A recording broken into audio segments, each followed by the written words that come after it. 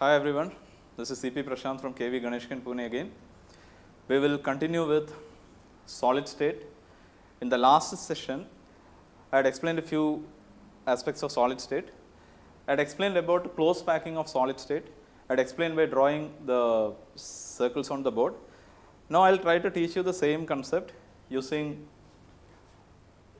these figures. Take a proper look at the way the particles are arranged here. This is the first layer of arrangement. When you arrange the particles like this, hope you are able to make out two voids created in the first layer. One set of voids are marked as yellow. The second set of voids are marked red. So, this uh, set of voids created here, the yellow voids and right voids, uh, red voids. Now, when you keep the spheres on the second layer, if you can make out these blue spheres are in the second layer and those blue spheres are kept on the voids created by the first layer which are marked yellow. So, the blue voids are on the yellow, blue spheres are on the yellow voids.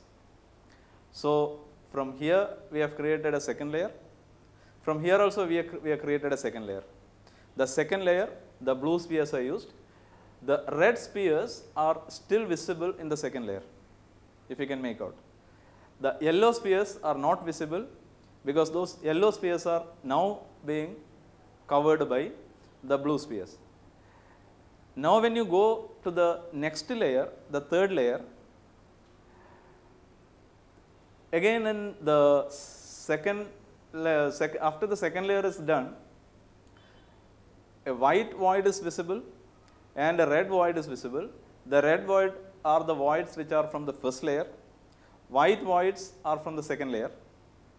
Those white voids are between these blue spheres. Now, when you keep the next layer, the third layer, the spheres in the third layer here are white in color.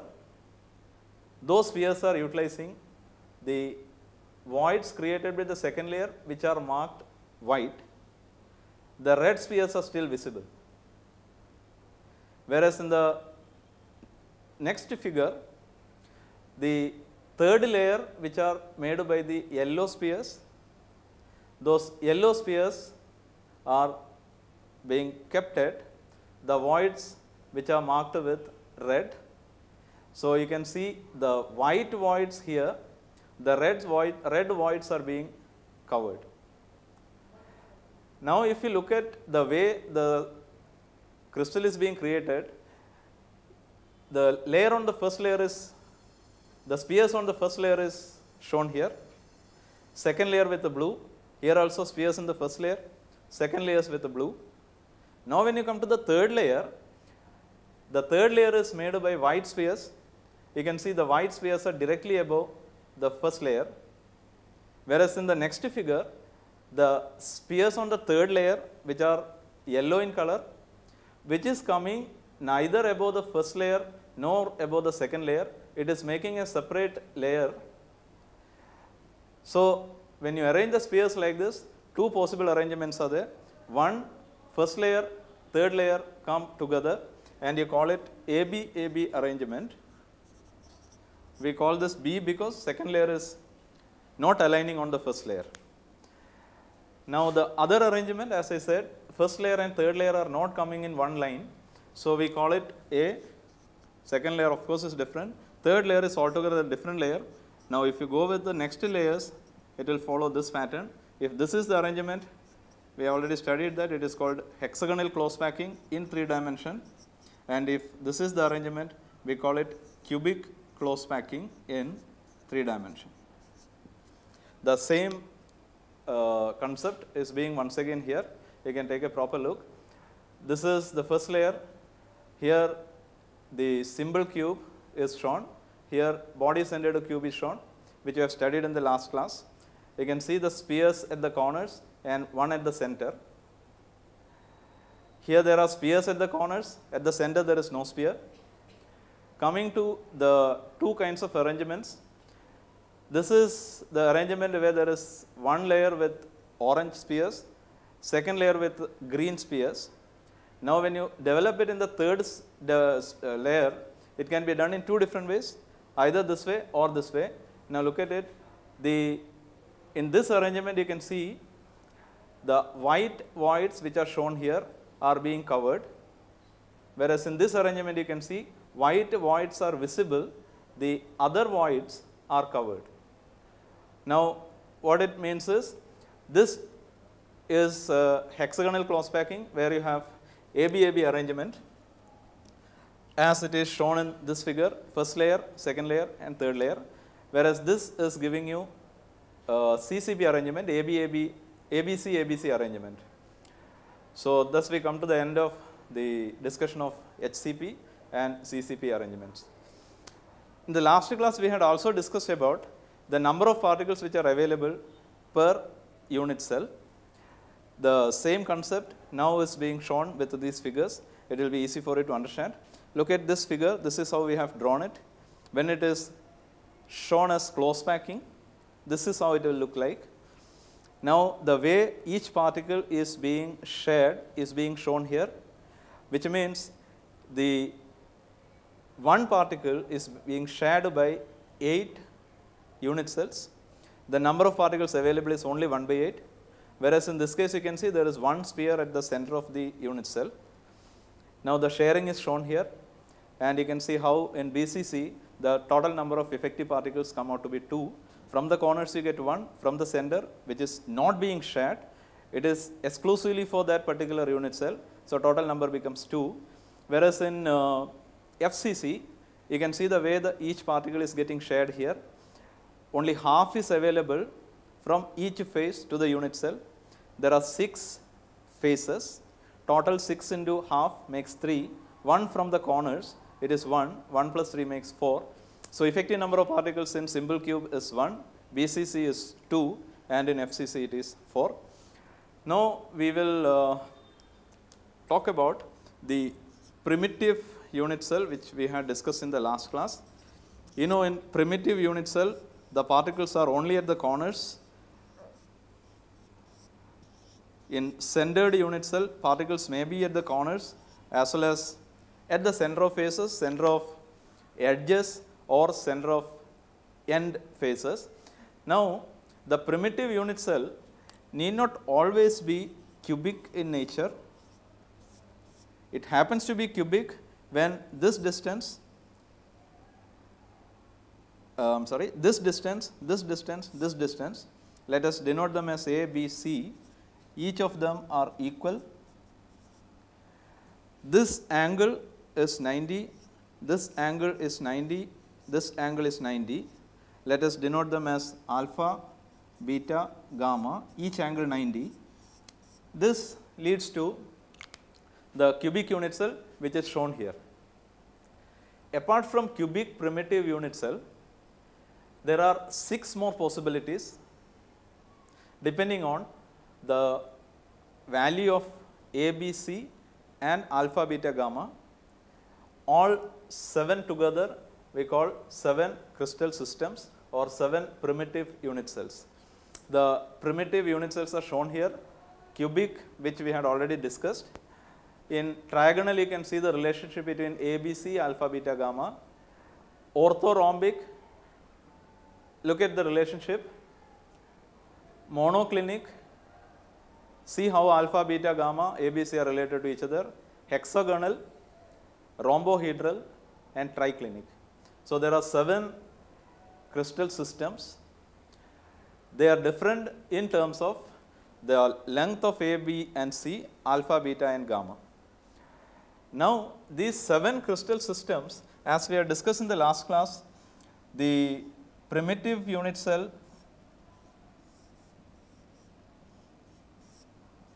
where the particles are only at the corners can become a BCC if there is a particle at the center. It can also become an FCC if the particles are at the faces. You can see those three possibilities in cubic unit cell. Such possibilities are there with every unit cell. So, trigonal can have such possibilities. Orthorhombic can have such possibilities. All those possibilities together if you take, there will be 14 possibilities. 3 from cubic cell, other possibilities from other crystal systems all together make 14 possibilities and we call those 14 possibilities Bravais lattice.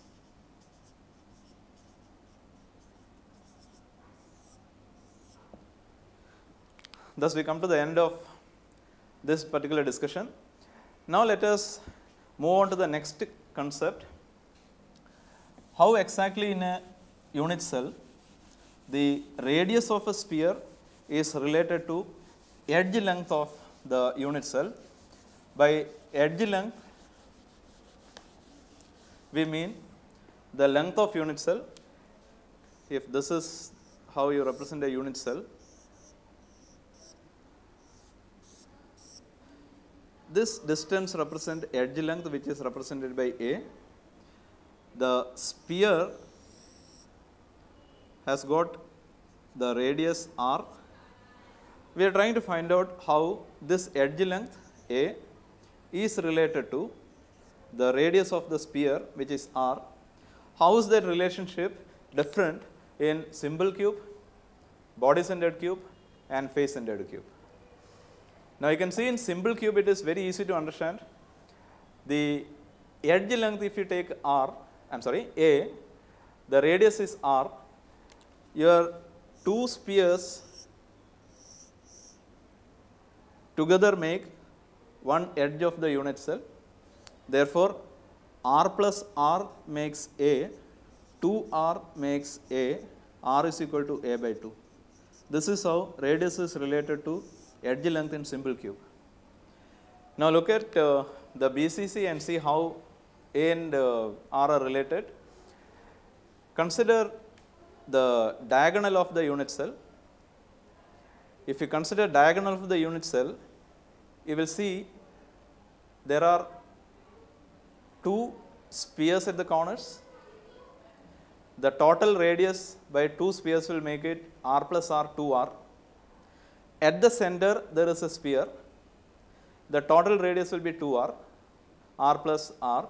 So, total distance of this diagonal will be 4r. 2r from the corners, 2r from the center, total makes it 4r. Suppose you consider that diagonal as B. So, the body diagonal let us consider that as C. Face diagonal which is shown here which is B. You can see this face diagonal is hypotenuse of this particular triangle and in this triangle b square can be written as a square plus a square where a represents the edge length. So, this is 2a square. So, b square is equal to 2a square or b is equal to root 2a. So, remember the face diagonal is equal to root 2a where a is edge length. Now, let us consider the body diagonal which is represented with a c here. You can see c square is equal to the face diagonal which is b square plus the edge length which is a square. B we already know is root 2a. So, b square will be 2a square plus a square. Therefore, this is 3a square. Now, look at c. The c is the body diagonal. It is made up of one uh, sphere at the center which will make it two r's, one r at the corner, one r at the corner. So, C can be considered as 4 r. Therefore, A is equal to 16 r square, this is equal to 3 a square. Therefore, r is equal to root 3 by 4 a. 16 will come here. So, square root of 16 becomes 4, square root of 3 becomes root 3, a becomes a square becomes a. So, this is how r and a are related in BCC. Let us do the same uh, derivation for FCC also. In FCC you can see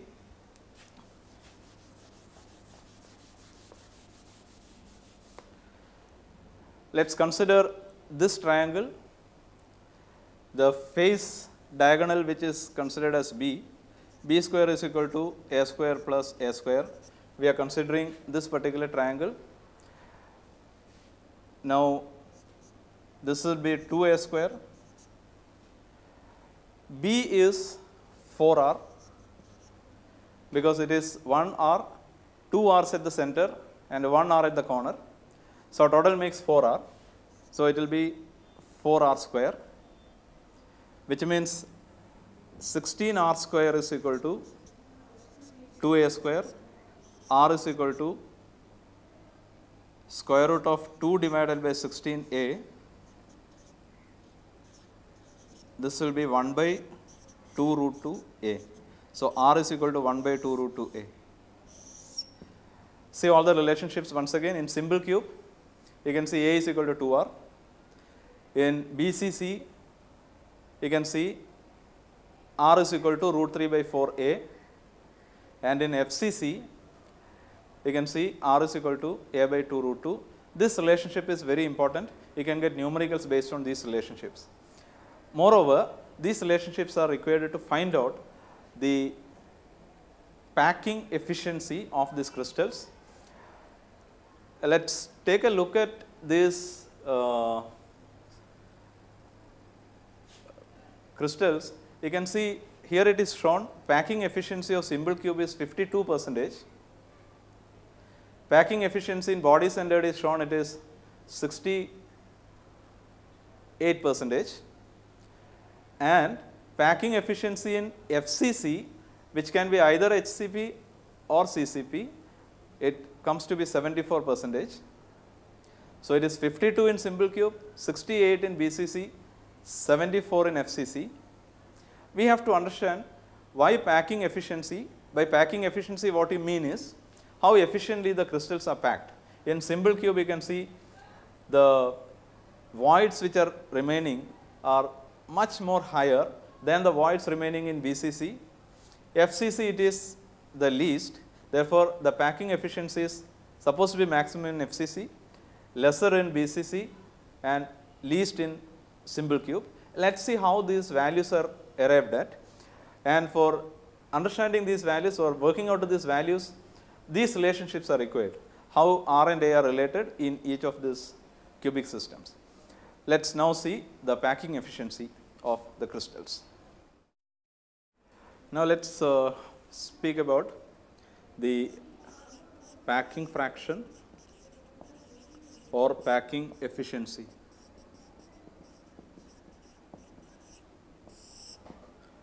See when the spheres are arranged in any crystal, there will there are always some voids created.